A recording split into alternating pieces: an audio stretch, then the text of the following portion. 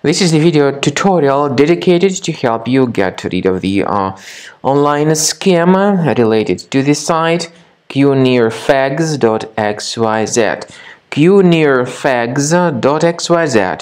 is a really malicious site. It attacks Google Chrome and it may affect other browsers. This site, qnirfags.xyz, basically tries to make you pretty scared regarding the condition of your computer in order to make you download and install some potentially unwanted applications.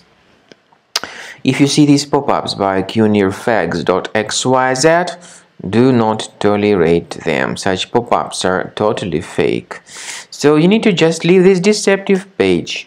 I also recommend you to research the system with Combo Cleaner by going to the official page combocleaner.com.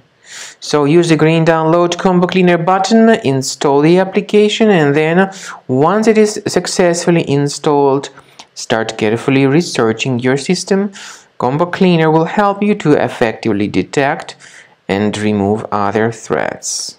After you have successfully downloaded and installed Combo Cleaner antivirus, uh, the program is initially in the trial mode so only quick scan option is available uh, by the way I forgot to mention that Combo Cleaner is uh, available for Windows computers for Mac computers and uh, for um, Android devices too this information is uh, clearly seen on the official website uh, which is uh, combocleaner.com.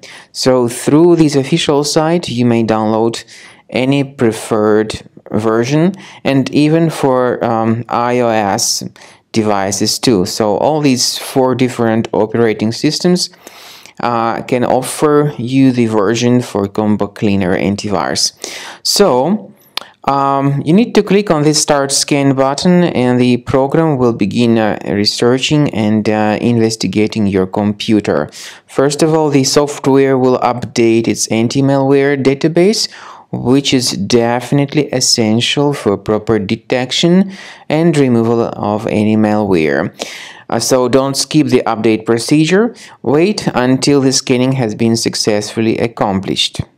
At the end of this scan, you will see the summary of threats and we recommend upgrading to premium uh, and you can request trial. Combo Cleaner will help you to remove all these threats automatically and keep your system free of other threats in the future.